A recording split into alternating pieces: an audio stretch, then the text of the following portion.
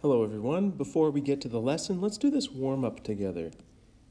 And I want you to keep your answers secret. So follow these steps, keep the numbers in your head, and we'll see if I can guess your number. Step one, choose a whole number between 1 and 10. Next, multiply that number by 2. Multiply that answer by 5 Divide that answer by the number you chose in step 1. Subtract 7 from your answer. Okay, you should have an answer. Keep it secret. Don't tell anyone. Was your answer 3? I know it is. Magic. Well, of course, it wasn't really magic. I can't read your mind. But I led you through something called a function that's a series of steps that I led you through, and each time you went through the next step, you did a different calculation. And if you follow calculations in a specific order, that's called a function. And we are going to talk about what the word function means in this lesson. And this is a big part of what this whole math course is about is functions and their applications. So the object of this lesson is just to know what that word means, and we're also going to start applying how to use functions and how to recognize functions so that uh, we can do more interesting stuff with functions in the rest of this course. So let's just get some terminology first. First word is input. Input is what goes into the machine. Here's my picture of a machine. Input is whatever you put into the machine. Something happens inside the machine and then something comes out. That's the output. Output is what comes out of the machine. So get this image stuck in your mind. Input is what you put in, something happens, and then output is what comes out. Here's an example of a machine. It's a vending machine. So if you're unfamiliar with how a vending machine works, you put money in, you press the button for whatever snack you want, and then the snack comes out the drawer at the bottom and you take it out. So if we think about this machine as a function, we need to understand what the input and the output are. The input is the button that you press. The output is the type of snack that comes out. So the question can be raised, what item will you receive if you insert money and press A1? So here's the button A1. If I press that button, what item will I receive? Well, we look over here, A1, that's the fruit smoothie. So you're gonna get a delicious fruit smoothie out of a vending machine. How wonderful. What if you press C2? Well, here's C2, the button, C2. Oh, apple juice, that's what you're going to get as your output. Now, if the machine is filled properly, what will happen if you pay and press A1 or C2 again? Well, if I press A1, I already answered that. I, I would expect to get a fruit smoothie, and if I press C2 again, well, I'd expect to get the same thing, apple juice.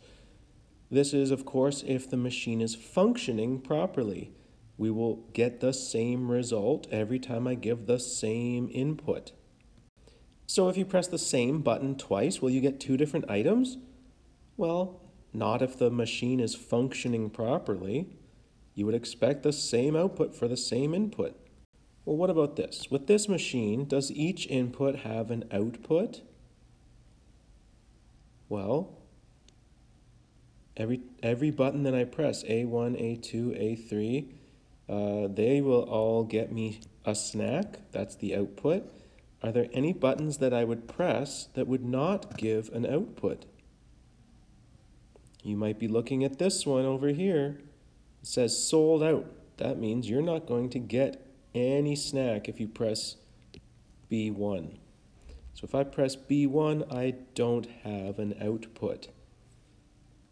So the idea I want you to take from this example is that in order for a machine to function properly, you will get the same output whenever you put the same input in. So if you put the same input in, you'll get the exact same output every time. It won't change. And sometimes you can have an input, but you might not get an output. Now, in a math context, a machine works with numbers. And this machine here that I'm picturing has a rule. The rule is the thing that you do to the input. So in this example, if I input 3 into my machine, inside the machine we add 2, what's going to come out but 5. 3 plus 2 is 5. Now I can change the input. I don't have to input the same number every time. So what would happen if I input 1? Well, input 1, add 2, what comes out? 3. Next, the input is 2. Input 2, add 2, out comes 4. Input 3, add 2, out comes 5. Input 4, add 2, out comes 6. Now this might look familiar. In previous math classes you would call this a table of values. Now I'd like you to take some time and work on this on your own. So the question is for each input, use the rule to find the output. So here I have a picture of a machine. The rule is minus 2. Here I have a different machine. The rule is the number of letters in the word. And the third machine, the number of vertices in the shape. So for your input-output table of values, take your different inputs, put them into the machine, and write down what your output would be. So I'd like you to pause this video, try the question, and then check back in to see how you did. I'm serious, pause the video, try it.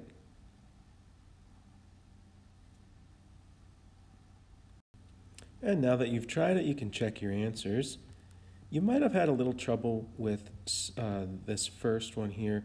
Uh, when the input is negative 1 and your the rule is minus 2, so it's negative 1 minus 2. Think about a thermometer. You're starting at minus 1 and you're going down 2 more, so you're getting more negative. That's why we end up with minus 3 there. The other ones I think are uh, pretty self-explanatory, but if you run into issues, please let me know before you move on to the next part of the lesson. Now, I want to go back to that idea of a vending machine. Let's say you have a vending machine. You input a dollar, you press one, and the output is sometimes a drink, sometimes nachos, and sometimes you don't get anything. Would you say this machine functions properly? Well, no. You would expect, as we already discussed, to get the same output every time you press the same button. And that would be a better option. So we would say if the results are random, meaning you don't know what's going to come out of the machine every time you push the same button, that would lead us to believe that the uh, machine is not functioning properly. But if you have a predictable outcome, you know what you're going to get every time you push the same button, we would say the machine is functioning properly. So I'm, I'm emphasizing the word functioning because that leads to what we call these machines in math and that is, of course, a function. So now try this on your own. Is the machine functioning properly? And of course, what we mean by that is, does it give one specific output for each input? Are you going to get a predictable outcome for each input?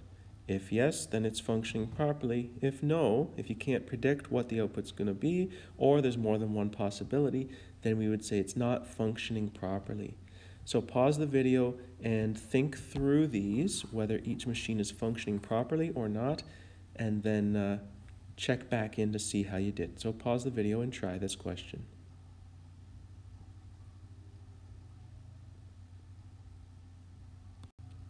Well, here we are, five more than the input. Let's say I put the number five in. Five more is 10. There's only one way that we can get an answer. It's only 10. So that functions properly. The input multiplied by 2. Well, whatever number we put in, we multiply it by 2, there's one answer, a predictable outcome. And down here, the input's country of birth. Well, no matter who you put in, They were only born in one country, so we get a predictable outcome. Now, the rest are not functioning properly, as you can see by the large red X's that I put on the screen here. Uh, this first one, the rule is 2 away from the input. So an example, if my input was 5, 2 away from 5 is either 3 or 7. Both of those numbers are 2 away from the number 5. So because we have an unpredictable outcome, uh, we would say this machine is not functioning properly. The input's grandparent. Well, each person has more than one grandparent, so uh, there's an unpredictable output. And the input's coworker. Well, you you you work with more than one person, more than likely. So for whoever you put into the machine as input, you don't know which coworker is going to be spit out as the output. So unpredictable outcome means not functioning properly. So the word function means you can think of it as the machine that works properly. A function takes an input and gives exactly one output. It follows a function rule. So the rule is what happens in the machine. The input is what you put into the machine, and there's only going to be one output, one predictable output for every time you put an input into the machine. Now this next question, I'd like you to try this on your own. Write the function rule. Find the output for each input. So for each machine, for each function pictured, I want you to write down what the rule is and then complete each table of values using that rule. So pause the video and try it.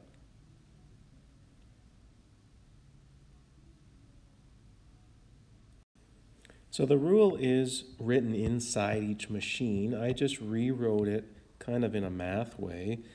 The first one, add 3, so that's plus 3. Take your input, plus 3. So if my input is 2, plus 3, that's 5.